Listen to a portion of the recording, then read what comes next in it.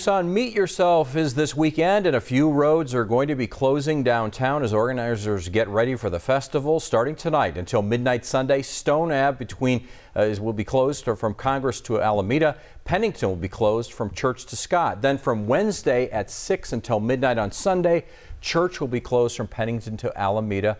Uh, and finally, starting at 6 Friday night to midnight on Sunday, Church will be uh, closed from Alameda to Congress. Of course, uh, affectionately called Tucson Eat Yourself.